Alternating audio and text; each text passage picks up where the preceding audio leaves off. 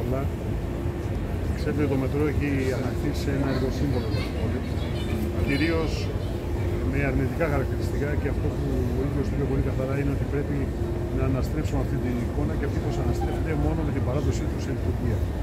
Αυτό που πρέπει να πούμε είναι ότι έχουν ξεκινήσει ήδη δυναμικές δοκιμίε στο σεισμό, που σημαίνει ότι σιγά σιγά τα πράγματα, μάλλον όχι σιγά σιγά γρήγορα, τα πράγματα μπαίνουν σε μια τροχιά παράδοσης του έργου σε λειτουργία.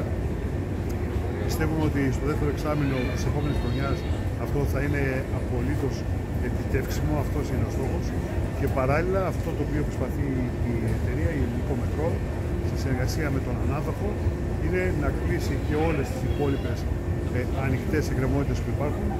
Ε, για παράδειγμα, σήμερα μετακομίζει το εργοτάξιο του μετρό το οποίο υπάρχει μπροστά στο διαδρομικό σταθμό, πράγμα που σημαίνει ότι ο χώρος αυτός να επιστραφεί στη ΓΕΟΣΕ για να μπορέσει να τον αξιοποιήσει.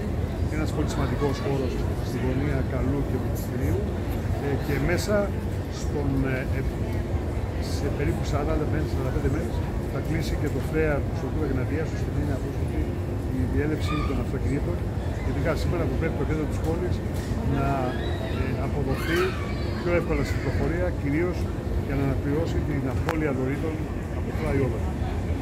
Νομίζω ότι οι προσπάθειες που γίνονται είναι πάρα πολύ σημαντικές. Ξεπερνάμε ένα έργο το οποίο είχε ανακτήσει ανέκδοτο για την πόλη. Το κάνουμε πραγματικότητα, το παραδείγμα στους πολίτες, όσοι μπαίνουν σήμερα στο σταθμό αυτό διαπιστώνουν και προχωράμε στα επόμενα έργα.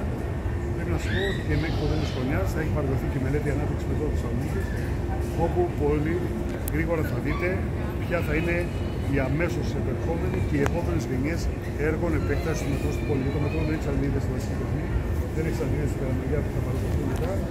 Έχουν και επόμενα στάδια ανάπτυξή του. Έτσι είναι το μετρό. Είναι ένα αυτό έργο που έχει τη μία γραμμή και κολλάει πάνω στην άλλη. Σε σχέση